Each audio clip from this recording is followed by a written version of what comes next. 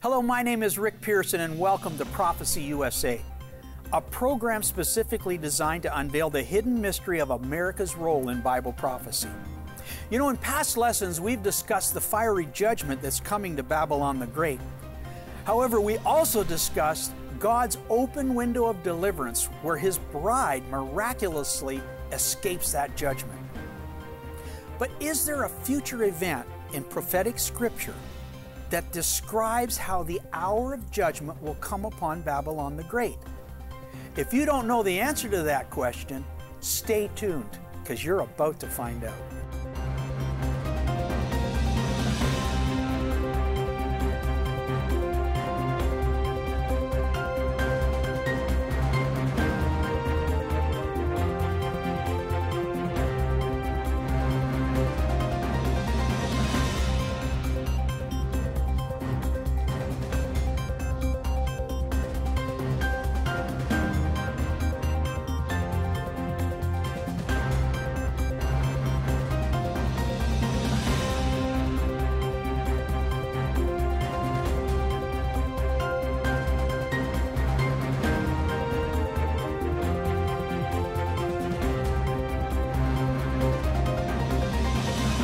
Welcome back to Prophecy USA. You know, Isaiah 66 8 asks the question Can a nation be birthed in a day? That question was answered on May 14, 1948, when U.S. President Harry S. Truman called the Prime Minister of Israel, David Ben Gurion, recognizing Israel's independence to become a nation. But can a nation be destroyed in an hour? The answer to that question is answered five times in Scripture. Yes, it can, and it will. Remember, God watches over His word to perform it. If He has said it, He will also do it. If He has purposed it, He will bring it to pass. We've also learned that many of the sins that Babylon has committed, God will judge her in that hour. Specifically, the shedding of innocent blood and the sacrifice of over 60 million innocent children is the sin that tips the scale and provokes the judgment that will come by fire. In episode 2, we learned of the eight providential nations that God would raise up and would, would cause them to fall throughout history. Six of those nations have come and gone, with only Babylon the Great and the New World Order left to appear before Christ's coming. However, according to Scripture, these are not the only nations that are active in the last days. The Bible showcases several more nations that will not only participate, but will divinely execute God's judgment upon Babylon. For a scriptural foundation of what I'm talking about, listen to this. We have learned from previous lessons that in God's eyes, Israel, and specifically Jerusalem, is the geographical center of the world. It is here where we also find an end time event where nations will gather to fulfill their role in Bible prophecy. In this coming war, Ezekiel identifies a spirit named Gog from the land of Magog, who is the chief prince of Noah's descendants according to Ezekiel. This spiritual entity named Gog will put an evil thought into the minds of not only Russia's people, but several other people groups who will join Russia, Persia, Ethiopia, and Libya with them all them with the shield and helmet, Gomer and all his bands, the house of Togarmah of the north quarters and all his bands, and many people with thee. Ethnologists identify Persia as modern day Iran and Iraq.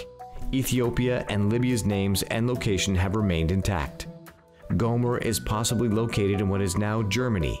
Togarmah is believed to be the name of the region now known as Turkey today. These names may not be the exact countries who joined together, but their geographical locations give us an approximation of where the descendants of Noah will come from to fulfill this prophecy. However, it is abundantly clear that these people will be of one mind, with an evil thought, to remove the Jewish people from the covenant land that God has given them. However, according to Ezekiel, there are allied nations who confront the hostile armies coming to attack Israel.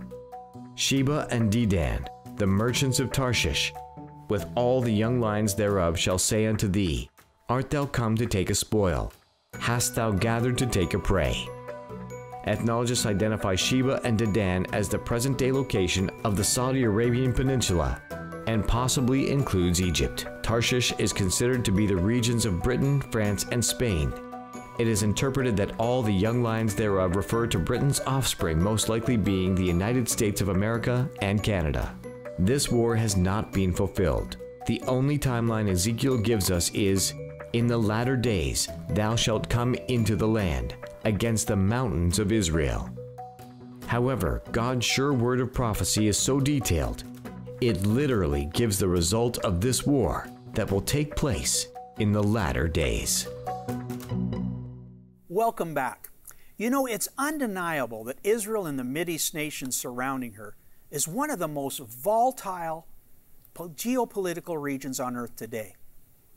But God is still in control, and His Word has declared the end from the beginning with regards to this war. Ezekiel records that God will instantly punish the nations coming against Israel.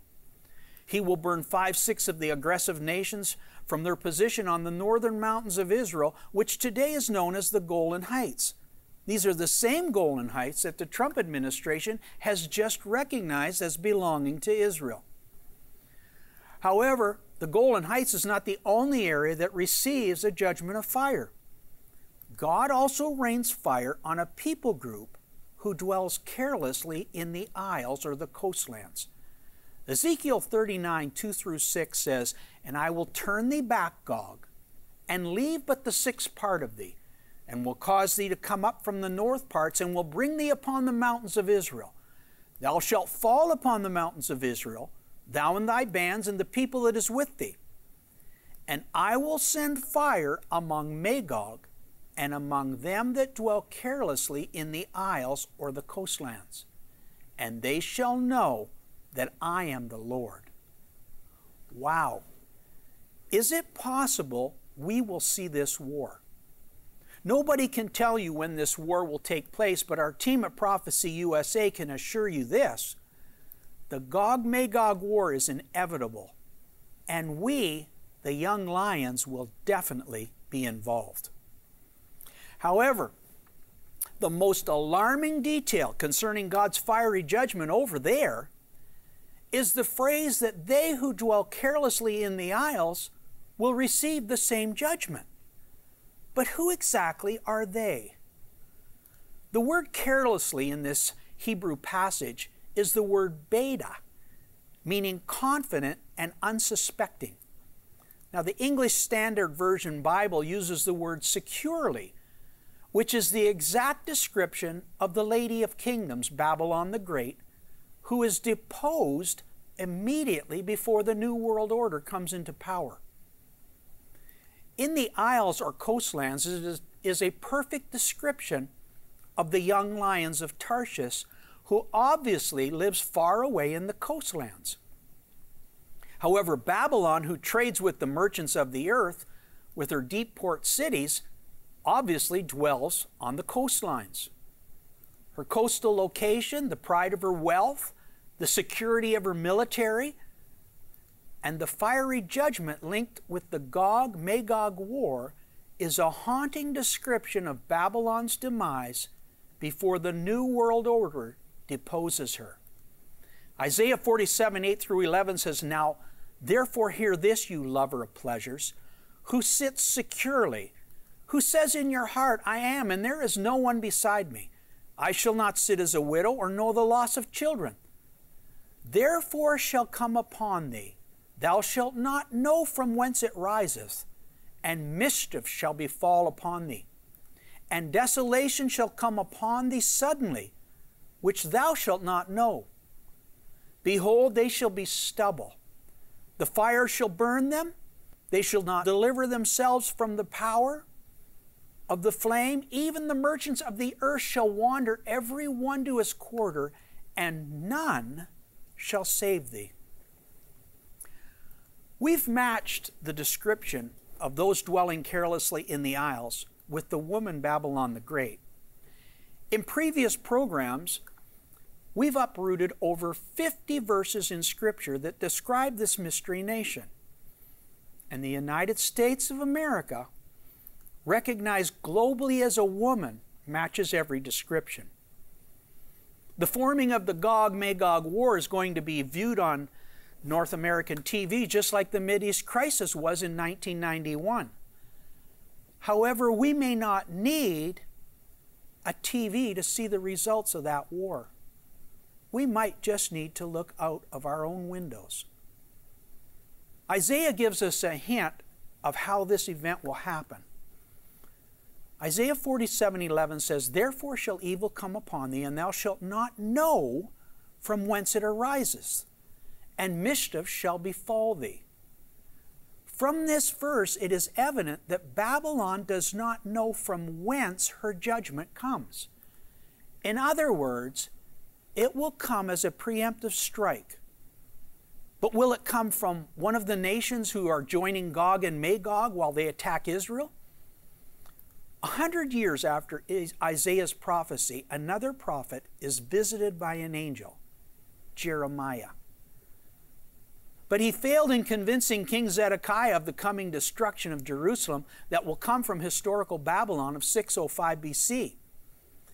And at this time of his ministry, Jeremiah was mocked, laughed, scoffed, and eventually thrown into a cistern for his word of gloom and doom towards Israel. Now, the false prophets during that time refused to warn the people of the sins of Baal worship, child sacrifice, or the immoral deprivation in the nation. They prophesied peace, but Jeremiah delivered the exact word the Lord had spoken to him instead of the candy coated fluff that the itching ear of God's people wanted to hear. You know, our team at Prophecy USA does not believe this Gog Magog war is going to be watched on North American TV like the Mideast crisis was. North Americans will not need satellite TV to see the results of this war. But how far away are we from this war? What signs should we be looking for? Stay tuned. We'll be right back and we'll address those questions right after this short break.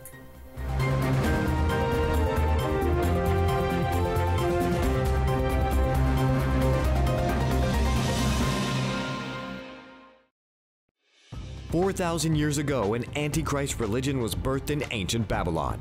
Yet Joshua overcame it, Gideon overturned it, Elijah overwhelmed it, and Josiah overthrew it. This vile religion demands a rejection of God's commandments, a defiance of God's morals, a resurgence of Ashtoreth poles with rampant immorality, and the shedding of innocent blood that cries out for judgment. These are the signs of a nation seduced by Baal worship. But what is the answer? 2,000 years ago, innocent blood was shed for you. But will America come back? Will she seek God's forgiveness or will she suffer his judgment?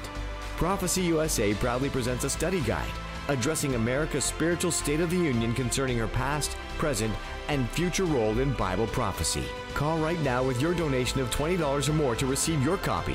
1 888 306 1759. Or go online to prophecyusa.org right now.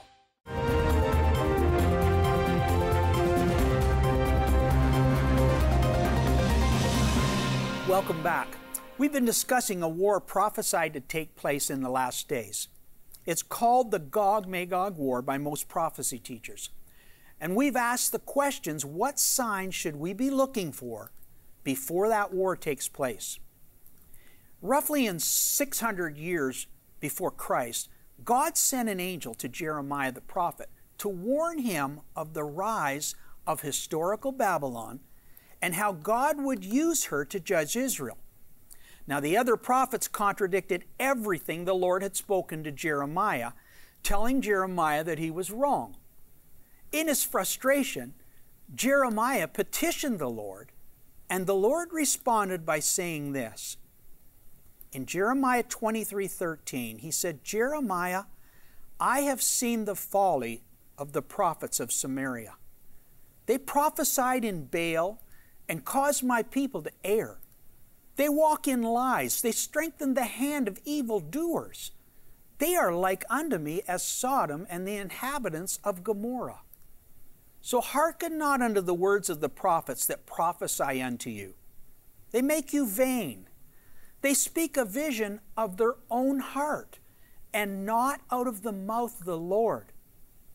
Yet they say still unto them that despise me, You shall have peace.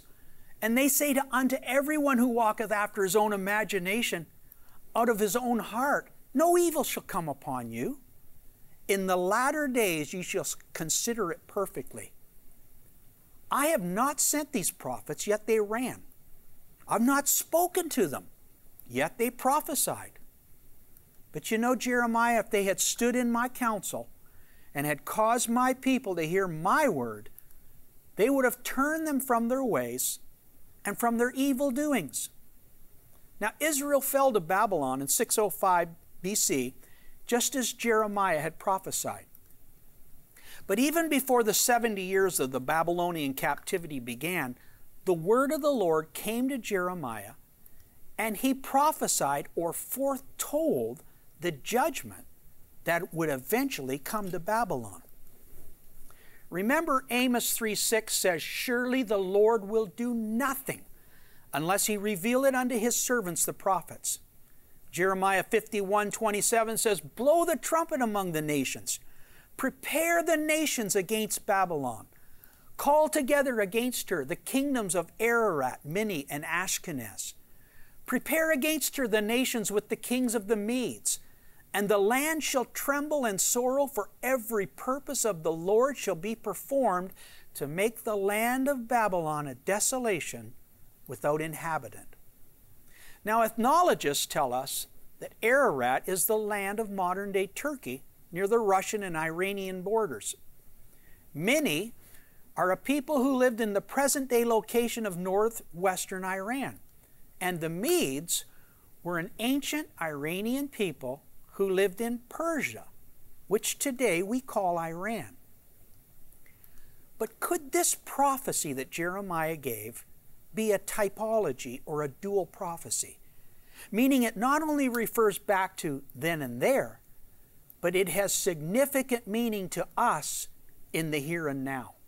In Jeremiah's prophecy, it warns, O thou that dwellest upon many waters, abundant in treasures, thine end is come. Behold, am I, I am against thee. I will stretch out my hand upon thee and will make thee a burnt mountain.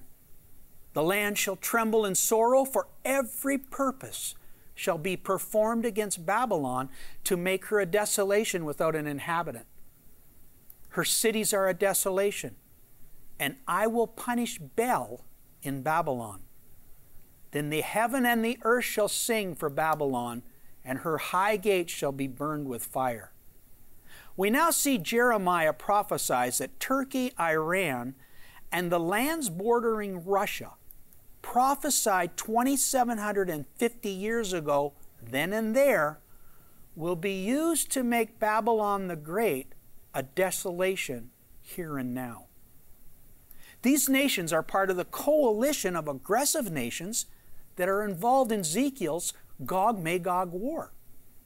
Five sixths of whose armies will be burnt with fire on the Golan Heights, as well as those who dwell carelessly in the isles. You know, in February 2019, leaders of Russia, Turkey, and Iran formed an alliance that was prophesied by Jeremiah 2,550 years ago. Two out of these nations, Russia and Turkey, have more nuclear warheads than the USA. Currently, Iran is spinning weapon grade plutonium while the U.S. enhances global sanctions against her. The prophets Isaiah, Jeremiah, Ezekiel, and John have given us multiple descriptions of the nation who dwells carelessly, and every description points to the United States of America. But is there hope? Is it all doom and gloom? According to Scripture, absolutely not. God's covenant with those who believe still guarantees His divine provision, guidance, and His divine protection. So don't miss this next segment because I can assure you something good is coming to those who believe. We'll be right back.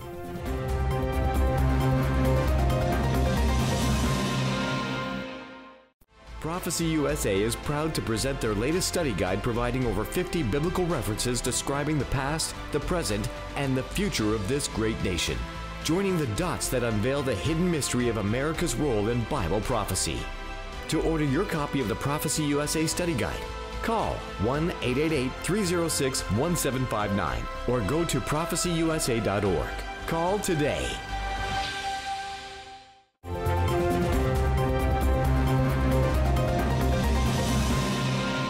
Welcome back. We've been discussing the Gog Magog war that will not end well for the enemies of Israel. Those enemies are not just in the Middle East, they're scattered all over the world, but of course, so are Israel's dedicated friends. The result of the Magog war ends in a fiery judgment very similar to Babylon's great Babylon the Great's judgment. But exactly how long will it take to perform the preemptive strike on Babylon? John gives us multiple verses to answer that question. Revelation 18:10 says the merchants will stand afar off in the fear of her torment and say you mighty city Babylon for in a single hour your judgment has come. Revelation 14:7 and he said with a loud voice fear God and give him glory because the hour of his judgment has come. And who will administer that judgment? Revelation 17 12 says, And the ten horns that you saw are ten kings who have not yet received royal power, but they are to receive authority as kings for one hour together with the beast. They will hate the whore, or Babylon the Great. They will make her desolate and naked, and devour her flesh, and burn her with fire for God has put into their hearts to carry out His purposes by being of one mind and handing over their royal power to the beast until the words of God are fulfilled. Now, from these verses, we can see multiple times that the judgment of Babylon will take place literally in one hour. And we can also see that this seventh providential nation is deposed by the eighth providential nation, the New World Order. In perfect detail, God shows us who ministers the judgment, the time it will take, and what method will be done.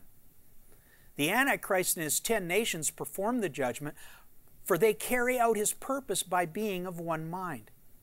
However, in Jeremiah 51, we see the modern day countries of Iran, Turkey, and Russia being used to judge Babylon the Great with fire. Now, these three nations are also identified in the seven nation coalition attacking Israel in the Gog Magog war. Now, the Antichrist has 10 nations in his New World Order. Could the seven nations who attack Israel be part of the 10 kings who join Antichrist in a preemptive strike on Babylon. Remember, Gog has an evil thought, and the beast and the ten kings come together with one mind to destroy Babylon. The New World, world Order cannot take its position until the seventh nation, Babylon the Great, is deposed. So, what can believers do as we unravel this mystery? How can anyone make a difference when it comes to God's prophetic word? The answer lies within the believers of Philadelphia who have made themselves ready. They are like the five wise virgins who have oil in their lamps. They overcome the sins that Jesus unveiled within the other six churches sins of immorality, dead works, not putting God first in their life, not prioritizing their finances with first fruit offerings, being rich in God, and not particip- nor participating in the works of his kingdom. Only God will determine who is worthy to escape the hour of tribulation that shall come upon the earth. And Scripture has warned his people in Babylon to come out of her, my people. Be not partakers of her sins, neither be partakers in her plagues. Folks, it's time to roll up your sleeves and start doing works of the kingdom at the very least and help finance the works that are already in place. Remember, Revelation 3 8 says, I know your works. Behold, I have set before you an open door which no man can shut. I know that you have but little strength, and yet you have kept my word and have not denied my name. Because you have kept my word, I will keep you from the hour of tribulation that is coming on the whole world to try those who dwell on the earth. This open door promise is the only time sequence in Scripture that hints of the pre tribulation rapture which will initiate the marriage supper of the Lamb. Revelation 19:1 says there's a shout of much people in heaven for God has judged the great prostitute and avenged his people. The marriage of the lamb has come. Blessed are they who are called unto the marriage supper of the lamb. At this point in time, we see that the bride of Christ is no longer on the earth nor in Babylon. She's at the marriage supper of the Lamb immediately after Babylon is judged. The worldwide progressive movement, who does not want God, the Ten Commandments, prayer in school, Bible in schools, or Judeo Christian moral protocol within our culture will finally get their way. They will be given a world without God, without His provision, without His protection, and without His guidance. It will be a godless society governed by a satanic leader, and it will be the biggest mess this world has ever seen.